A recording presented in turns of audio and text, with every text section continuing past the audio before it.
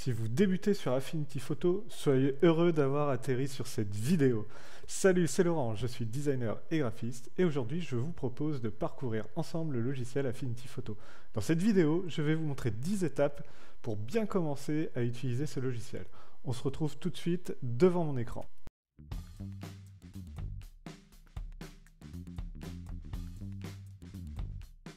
Pour débuter sur Affinity Photo, vous devez savoir comment ouvrir des images dans le logiciel.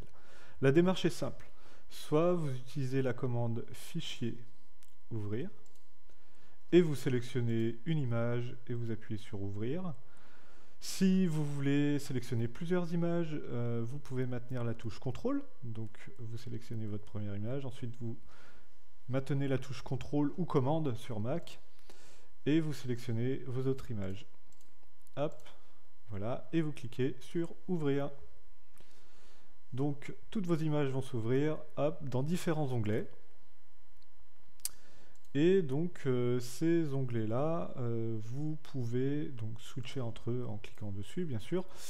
Et si vous avez une image que vous avez sélectionnée et que vous ne souhaitiez pas ouvrir, vous pouvez la fermer en cliquant sur la petite croix située à droite euh, de l'onglet. Et voilà. Euh, si vous souhaitez réouvrir une image, vous pouvez là aussi euh, refaire la méthode donc fichier ouvrir ou vous pouvez utiliser tout simplement le raccourci qui est CTRL O ou commande O sur Mac. Donc on fait CTRL O et là on peut ouvrir une autre image. Hop.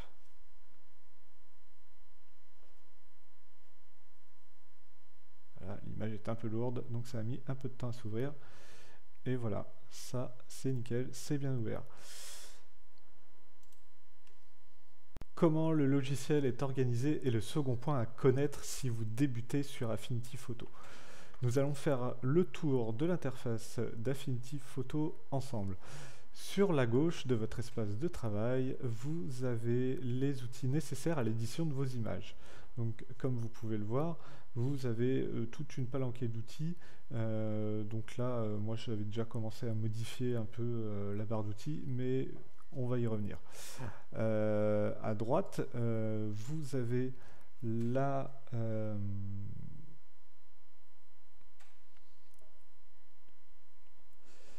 À droite, vous avez ce qu'on appelle le studio. Dans ce studio, vous trouverez différents panneaux. Euh, donc, de base, on retrouve les panneaux les plus utilisés, comme le panneau couleur, les pinceaux, donc les brushes si vous préférez. Euh, vous retrouvez les panneaux de calque qui sont très importants pour la navigation et l'organisation de votre document. Et vous retrouvez aussi le panneau style navigateur, donc un panneau qu'on retrouve assez souvent dans les logiciels d'édition d'images comme euh, GIMP ou Photoshop. Donc là, euh, je ne vais pas m'attarder dessus, mais si vous êtes un peu habitué de ce genre de logiciel, vous n'allez pas être dépaysé. La, troisième chose que vous allez retrouver et qui est intéressante dans l'interface d'Affinity Photo, ce sont les personas. Euh, et enfin, nous avons les personas qui se trouvent en, haut de votre espace de travail, euh, qui sont en fait de véritables euh, espaces de travail à part entière. Euh, car par exemple, si je clique sur le Liquify, Persona, euh, vous allez voir que en fait, cet espace de travail là a ses propres outils, ses propres panneaux, et ça sera euh, similaire dans les autres personas que l'on retrouve à côté de ce persona Liquify. Alors, en ce qui concerne notre guide, on va surtout s'attarder à à travailler dans le persona photo, mais sachez que ces autres personas-là existent et qui sont surtout créés pour euh, faire des tâches très spécifiques. Une fois que vous vous êtes approprié donc cette interface-là, vous pouvez quand même la customiser, la personnaliser, et pour cela, vous devez vous rendre pour personnaliser votre interface dans le menu affichage. Si vous souhaitez personnaliser le studio qui se trouve ici à droite, vous cliquez sur studio et vous pouvez ajouter les panneaux dont vous avez l'utilité. Donc par exemple, nous, on va ajouter le panneau caractère puisqu'on va ajouter du texte tout à l'heure. Et si on veut personnaliser notre barre d'outils qui est sur la gauche, on fait la même démarche, on va dans affichage et on clique sur personnaliser les outils. Attention, ne cliquez pas sur personnaliser la barre d'outils, mais personnaliser les outils si vous souhaitez customiser la barre de gauche. Et donc, comme vous pouvez le voir, hop, ici, il n'y a rien de plus simple pour personnaliser cette barre-là. On prend l'icône dans notre barre d'outils qui est à gauche, on glisse et voilà, c'est supprimé. Par contre, si on veut en ajouter une nouvelle, on sélectionne l'icône de l'outil qui nous est nécessaire. Et ensuite on le glisse tout simplement dans la barre d'outils. Et ensuite on fait fermer. Vous voyez que on peut éditer le nombre de colonnes. Donc on peut avoir deux colonnes et là rajouter une multitude d'outils. Tout dépend de ce que l'on souhaite euh, faire. Mais vous voyez qu'on peut avoir différentes euh, différentes manières d'entreposer nos outils donc là, on retrouve là aussi euh, une sorte de configuration un peu dans GIMP ou Photoshop. Euh, tout dépend des habitudes. Moi, je vais me mettre sur deux colonnes, par exemple, et je vais fermer. Voilà. Ensuite, si vous souhaitez enregistrer votre studio, vous allez dans Affichage, Studio, hop là, pardon, vous allez dans Affichage, Pré-réglage de studio, et vous faites Ajouter un pré-réglage. Et en fait, ça, ça vous permettra de sauvegarder toute la configuration, toute l'interface que vous venez de créer euh, à l'instant. Si vous êtes rendu là, c'est que vous voulez en connaître un petit peu plus encore sur euh, Affinity Photo. Donc n'hésitez pas à cliquer sur le bouton abonnez-vous qui est en bas à droite de l'écran. Et en attendant, on continue notre petit guide de débutant sur Affinity Photo. Troisième point que vous devez connaître, c'est comment recadrer une image et utiliser l'outil de recadrage. Donc l'outil de recadrage se situe juste ici, il a cette forme-là. Vous pouvez y accéder avec le raccourci clavier C.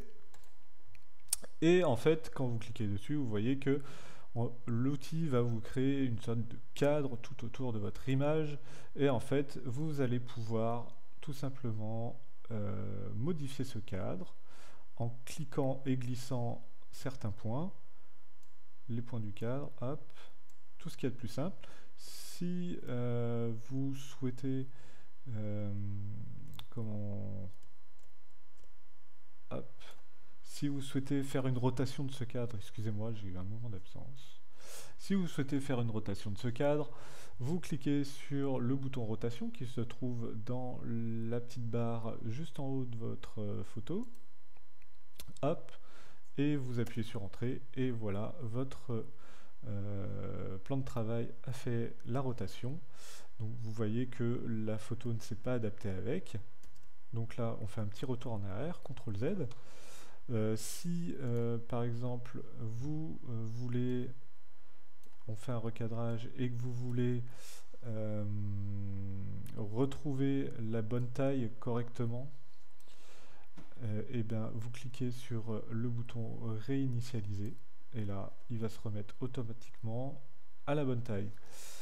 Donc là, euh, on va recadrer un tout petit peu l'image et encore elle est très bien recadrée. Donc moi, je vais la laisser comme ça et ça sera très bien. Le quatrième point que vous devez connaître, c'est comment on peut effacer des imperfections. Pour cela, on va se rendre sur l'image des montgolfières.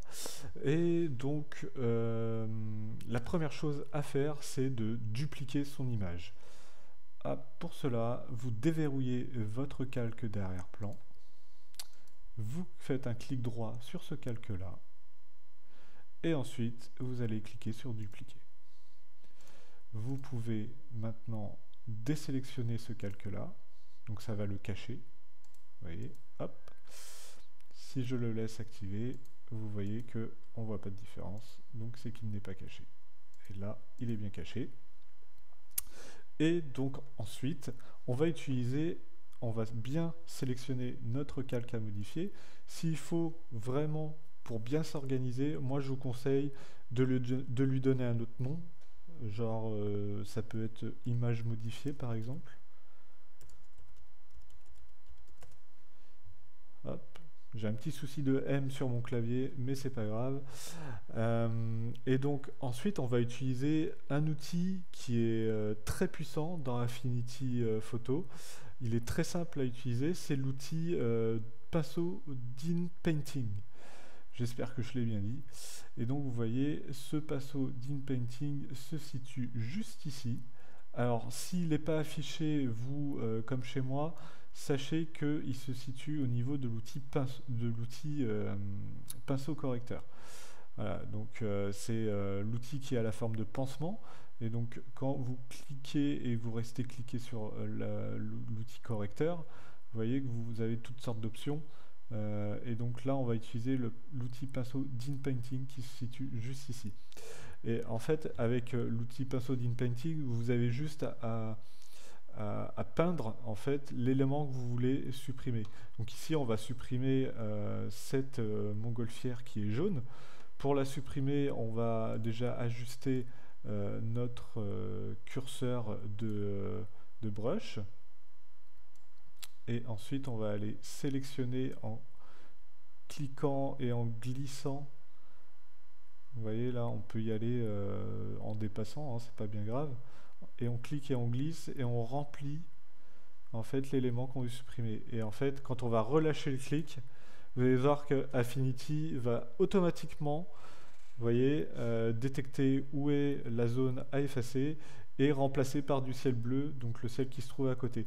Il le fait de manière très très intelligente. C'est pour ça que je vous dis que ça, c'est un des outils les plus puissants qu'on a sur Affinity Photo et surtout un, outil très abordable parce que vous avez quasiment rien à faire en manipulation.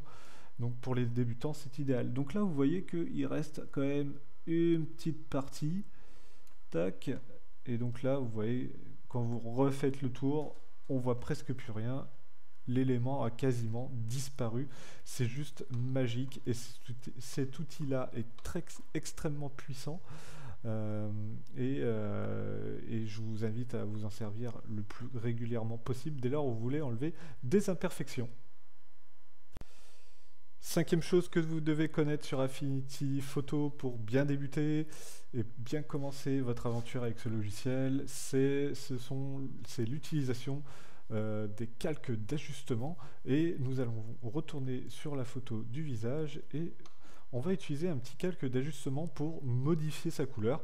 Donc il y a toutes sortes de calques d'ajustement et vous allez voir qu'on les trouve juste ici dans le panneau calque. Et en fait, quand vous regardez ici, vous avez toutes sortes de calques de réglage, on appelle ça des calques de réglage. Et donc on peut par exemple euh, changer la balance des couleurs, euh, rectifier les niveaux, donc là ça permet d'avoir euh, quand même une image un petit peu plus nette, on va dire.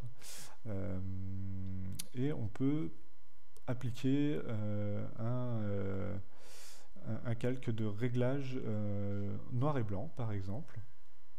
Donc c'est ce que nous allons faire. Mais d'abord, on va quand même déverrouiller cet arrière-plan, le dupliquer pour avoir une sécurité l'enlever, hop, et ensuite on utilise donc le, le, calque de réglage noir et blanc, donc euh, c'est tout simple, on y va comme ça, et donc vous voyez que ce calque de réglage vous permet de euh, modifier plus ou moins chaque couleur qui compose votre euh, photo. Donc, par exemple, si votre photo, ici, on sait très bien que les yeux bleus de madame sont très intenses, et eh bien si je vais vers la gauche, je vais intensifier le noir et blanc dans la couche de bleu de mon image couleur. Vous voyez, et si je vais vers la droite, et eh ben c'est beaucoup plus clair. Donc là, vous pouvez jouer, vous voyez, avec le, réglage noir et blanc sur chacune des couleurs là, on joue bien sur le bleu, comme ça, ça va mettre euh, bien les yeux bleus en avant. Tac, on peut jouer sur le vert, on peut jouer sur le rouge. Donc le rouge, ça va jouer sur le teint. il sera plus ou moins clair quand il va passer en noir et blanc. Et voilà. Et là, on peut euh, laisser ça comme ça. Et donc vous voyez que euh, Affinity nous a créé automatiquement un calque de réglage noir et blanc. ce calque de réglage là, quand il est placé au-dessus de tous les calques, il va euh, appliquer son effet à tous les calques qui y a en dessous. Si vous ne souhaitez pas, c'est-à-dire que par exemple là je cache et vous voyez, je fais apparaître le calque qui y a dessous, il est lui aussi en noir et blanc.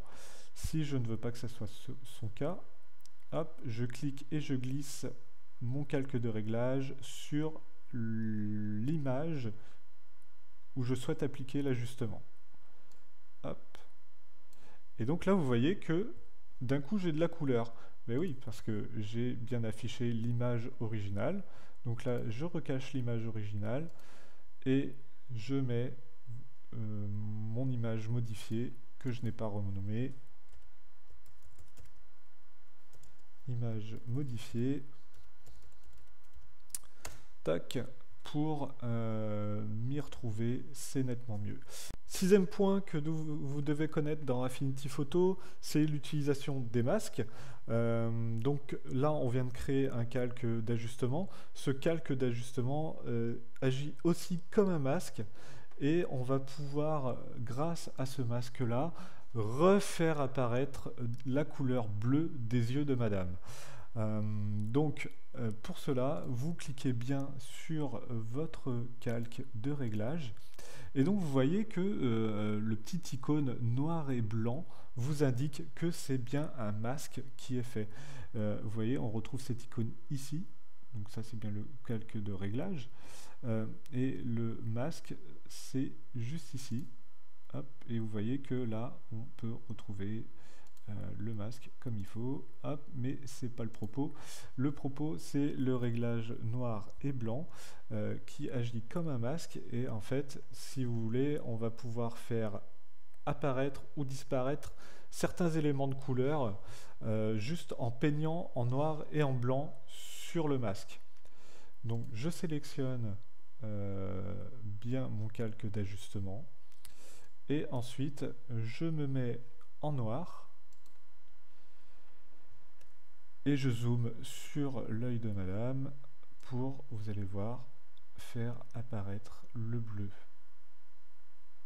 En fait, ce qui se passe, c'est que elle est de super qualité, on voit même le, on voit même le photographe. Incroyable. En fait, ce qui se passe, c'est que ici, on vient tout simplement enlever euh, du blanc du masque et en fait, vu que ce masque est appliqué sur une image qui est en couleur, c'est un masque noir et blanc qui est appliqué à une image en couleur, et bien en fait, on va tout simplement lui enlever une zone pour refaire apparaître la couleur. Et donc vous voyez que si je désélectionne ce masque, tout est en couleur derrière. Et pourtant mon arrière-plan n'est pas affiché. Si je le refais apparaître, l'effet noir et blanc est bien appliqué, sauf dans la partie où j'ai décidé de peindre en noir. Donc on va faire pareil pour l'œil d'à côté. Alors n'hésitez pas à zoomer pour avoir quelque chose de précis. Hein. Le zoom euh, sur Affinity Photo est très intéressant. Pour zoomer, c'est pas très compliqué. Vous, vous, maintenez la touche contrôle et avec votre molette de souris, si vous avez une molette sur la souris, ça m'étonnerait que euh, vous n'en ayez pas, mais bon, euh, ça peut toujours arriver. Donc pour zoomer, euh, il vous suffit d'utiliser la touche contrôle et la molette de votre souris, tout simplement. Et donc quand vous, vous allez vers l'avant, vous zoomez. Quand vous allez vers l'arrière avec votre molette, tout en maintenant contrôle, vous dézoomez. Donc n'hésitez pas à zoomer, hop. Et pour le fun, je vais faire une petite faute. Hop là, voilà, mince, Oh non, mince, j'ai fait une faute. Euh, donc là, euh, on va pouvoir rajouter du blanc. Euh, j'utilise la touche X pour switcher de couleur plutôt que d'aller d'aller m'embêter à cliquer. Je préfère utiliser le raccourci pour passer sur du blanc. Et donc vous allez voir que dès que je remets du blanc, eh bien mon calque d'ajustement, mon calque de réglage se rétablit correctement. Et on a un joli effet de réaliser sur cette photo noir et blanc avec ses yeux bleus qui ressortent parfaitement. Le septième point à connaître dans Affinity Photo, c'est comment faire des sélections. Euh, et pour cela, en fait, Affinity Photo euh, plusieurs outils qu'on peut utiliser. Euh, on les retrouve dans notre barre d'outils à gauche. Donc il y a l'outil de sélection rectangulaire, par exemple. Si on clique dessus, on voit toutes sortes d'outils. On va pas les utiliser, ceux-ci sont intéressants. On va peut-être les utiliser tout à l'heure pour un photomontage, mais pour l'instant, on ne va pas les découvrir. Ensuite, on a un outil euh, sélection par dispersion. Alors pour les aficionados de Photoshop, ça s'appelle la baguette magique, tout simplement. Euh, donc ça, euh, je ne retourne pas dessus parce que pour moi, c'est pas un outil qui a forcément un gros intérêt dans Affinity Photo.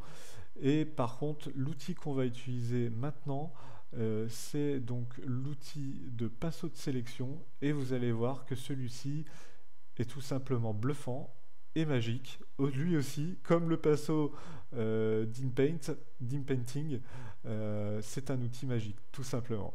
Euh, donc, on va détourer ce petit chat. Vous le connaissez peut-être si vous avez déjà vu ma vidéo sur comment détourer une image sur Affinity Designer. Si ce n'est pas le cas, allez cliquer sur le petit lien qui apparaît en haut de l'écran. Et si vous êtes toujours là, n'oubliez pas de vous abonner si ce n'est pas déjà fait. Euh, et donc, euh, nous allons détourer ce petit chat grâce à ce pinceau de sélection. La première chose à faire, c'est de choisir la largeur de son pinceau. Donc, on retrouve ça dans le curseur juste en haut sur la petite barre d'outils supérieure. Hop, et ensuite, on vient cliquer et faire le tour du petit chat un peu grossièrement.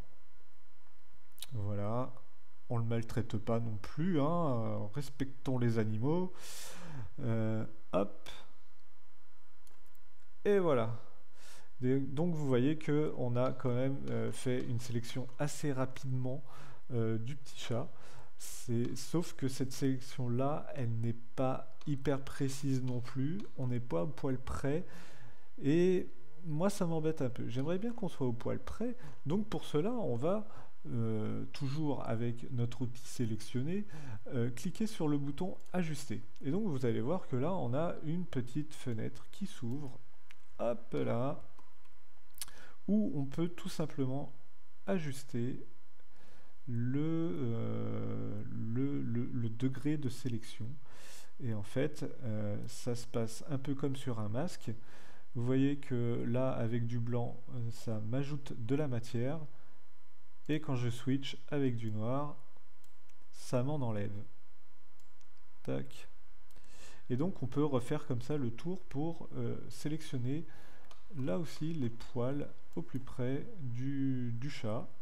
Et là je suis rentré dans la matière avec le noir. Si je fais X avec du blanc, j'en enlève. Tac. S'il veut bien en enlever, il n'a pas l'air d'avoir envie.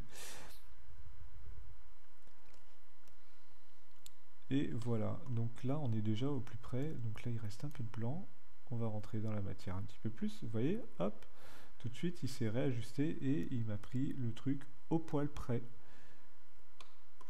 Et voilà, ensuite vous cliquez sur appliquer. Et votre chat est bien sélectionné. Ensuite, votre sélection est faite, vous faites un CTRL-C, CTRL-V et votre chat est séparé de l'arrière-plan blanc et il est bien détouré. On va faire un CTRL Z car on va conserver cette sélection. Euh, on peut aussi bien sûr normalement conserver la sélection. Donc vous allez dans le menu sélectionner, vous faites enregistrer la sélection comme un canal de réserve et votre sélection va être euh, mémorisée par le logiciel, ce qui fait que ensuite quand vous allez aller dans euh, les dans les sélections, normalement, vous allez pouvoir les retrouver. Dans les canaux de sélection, normalement. Voilà. Et donc, vous voyez que votre, euh, votre sélection de pixels est juste ici. Et donc, vous pouvez la retrouver à tout moment. Ça vous, ça vous évitera de la perdre, tout simplement. Huitième point à connaître dans Affinity Photo, c'est comment changer le fond d'une photo. Donc pour euh, vous illustrer ce petit tuto, hein, entre guillemets, parce que là on va appliquer plusieurs techniques qu'on a vues précédemment, euh, ça va être un tuto assez rapide. Euh, du coup, on va garder notre chat bien sélectionné et en fait on va bien mettre en évidence notre calque, on va bien sélectionner notre calque, on va faire un CTRL-C et CTRL-V, donc si vous préférez un copier, et un coller sur euh, la photo du petit bulldog français. Et donc ici, CTRL V. Et vous voyez que mon chat parfaitement détouré apparaît aux côtés du bulldog. Euh, donc là, on a deux calques différents.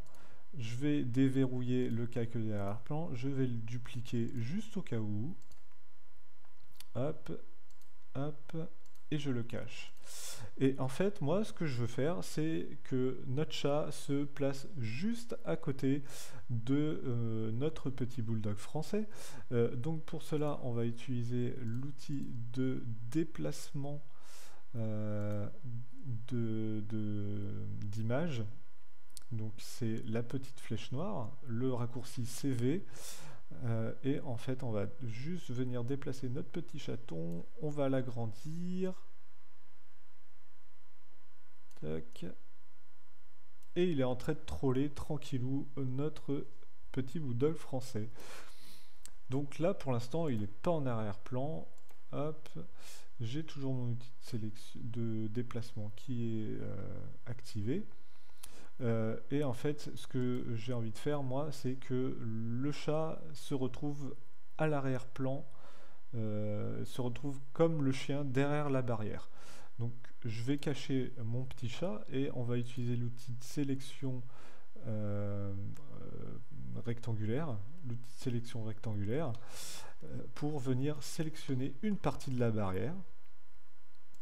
Et donc là, ça va vous apprendre aussi un peu la, hiérarchie des calques, hein, tout simplement.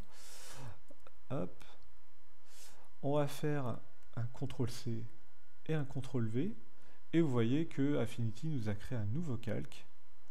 Et ce nouveau calque-là correspond, si vous voulez désélectionner, vous cliquez dans le vide. Euh, et vous voyez que ce nouveau calque-là correspond à un rectangle gris euh, qui est en fait un morceau de la barrière. On va réafficher notre petit chat et en fait vous allez voir que en cliquant et glissant ce calque devant le petit chat, hop, il se retrouve automatiquement derrière la barrière. Et donc là, on peut dire qu'on a changé le fond. Deuxième et avant-dernier point à connaître sur Affinity Photo, c'est l'utilisation de l'outil texte. Donc on a deux outils, donc comme maintenant dans la plupart des logiciels Affinity, on a l'outil de texte artistique et l'outil zone de texte. L'outil texte artistique vous permettra de créer du texte euh, de manière euh, assez simple et rapide. Euh, vous pouvez le modifier comme bon vous semble. Il sera toujours proportionnel par rapport à son cadre. Euh, par contre, quand vous allez le modifier, vous voyez qu'il va suivre en fait ce cadre-là. tandis que l'outil zone de texte, on mettra une zone de texte et dedans on va pouvoir y mettre euh, un texte d'exemple. Et vous voyez que en fait ce texte d'exemple là sera euh, non seulement lié au cadre bah, quand euh, on utilise la poignée de modification de la taille en proportion, mais c'est que vous voyez il va il va non pas s'adapter au, au, cadre et suivre le cadre, mais il va tout simplement euh, disparaître ou réapparaître euh, et être dans son cadre. Voilà, il sera dans sa zone, tandis que l'outil de, texte artistique vous permettra d'avoir un texte qui sera entièrement modifiable. Et donc là, on va pouvoir lui, donner une forme complètement différente si, si, on le souhaite. Donc, euh, ces deux outils-là sont très simples à utiliser, c'est assez rapide à faire. Ensuite, vous pouvez choisir vos typographies donc dans le petit onglet situé en haut à gauche, au-dessus de votre espace de travail. et donc là, vous pouvez mettre le texte que vous voulez.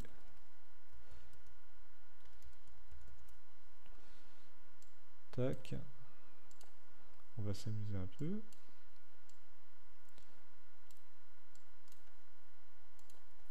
Et donc vous voyez que euh, on a quand même des onglets euh, dans, ce, dans cette partie de sélection des typographies avec les typographies qu'on a utilisées récemment, les plus utilisées et les favoris. Et donc quand vous avez une typo favori, euh, vous cliquez sur le petit cœur et vous voyez qu'elle va se mettre dans les favoris.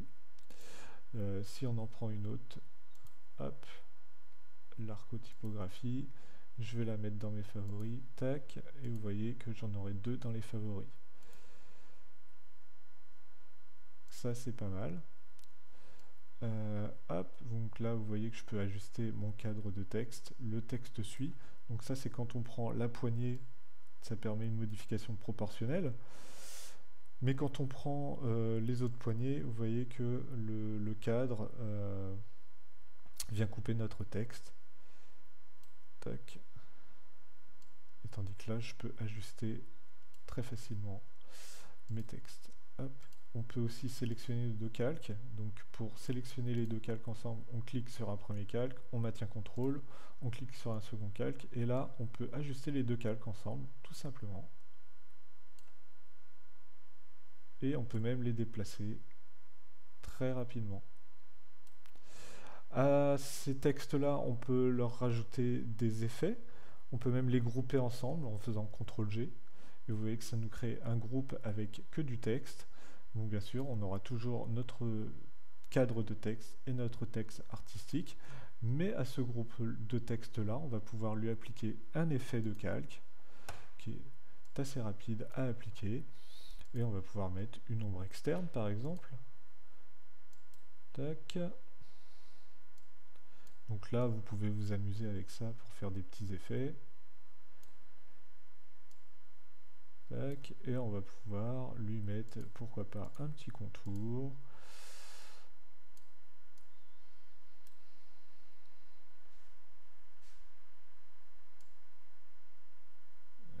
hop là, le contour apparaît.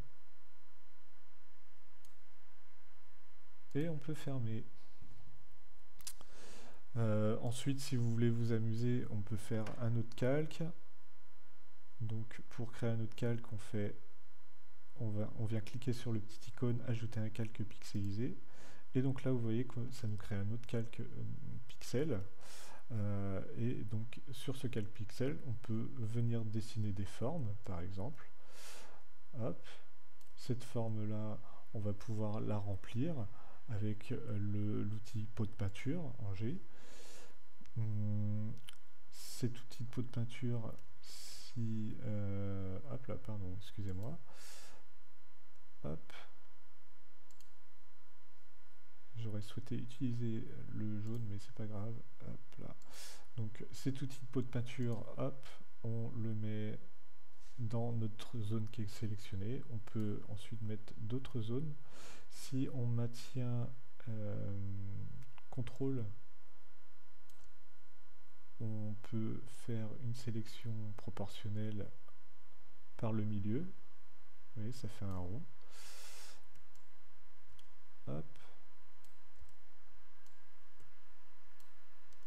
Si je maintiens CTRL ALT, ça me fait quelque chose de supplémentaire. Ça me fait un rond supplémentaire. hop, ça m'ajoute des ronds. Et ensuite, on utilise l'outil pot de peinture pour mettre notre couleur.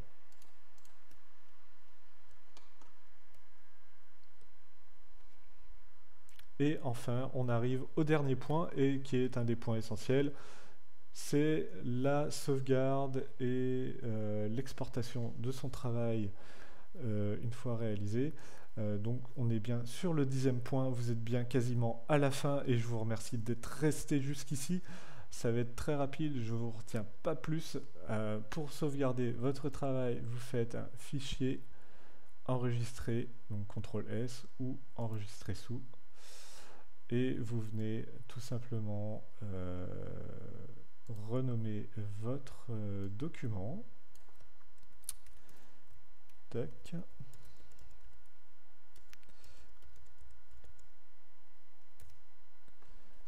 Et voilà, votre document est enregistré avec tous ces calques. Et si vous souhaitez l'exporter, il faut faire fichier, exporter. Donc le raccourci c'est CTRL ALT MAJ S. Et quand vous arrivez dans exporter, vous voyez qu'on a une multitude de formats qu'on peut utiliser. Euh, nous, on va se focaliser sur le JPEG.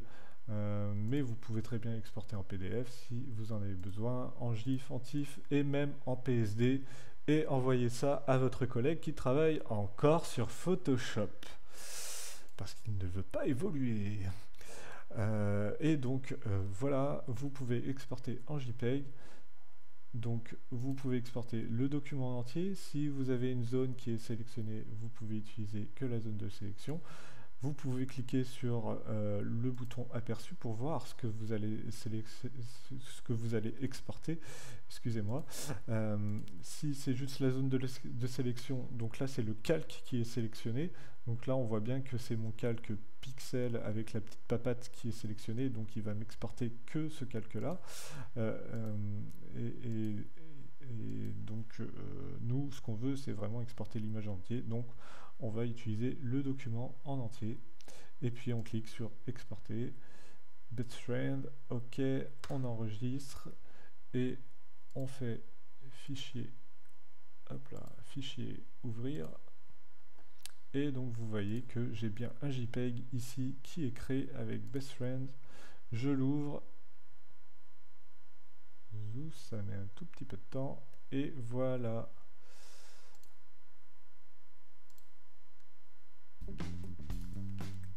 Et voilà, le résultat, on a un JPEG qui est fait. Donc ici le document original et ici le JPEG. Vous voyez qu'on n'a qu'un seul calque. C'en est tout pour ce tuto. Je vous remercie grandement de l'avoir suivi jusqu'au bout. Euh, si vous l'avez aimé, laissez-moi quelques commentaires un pouce bleu, ça ne fera qu'encourager euh, ma volonté à faire plus de tutos pour vous aider dans la suite Affinity. Euh, en attendant, n'oubliez pas de vous abonner, de liker la vidéo, de la partager et d'appliquer surtout ce que vous faites. C'est le plus ce qu'on a fait ici, c'est le plus important. Euh, appliquez et travaillez bien sur Affinity Photo. Je vous remercie. À bientôt. Salut.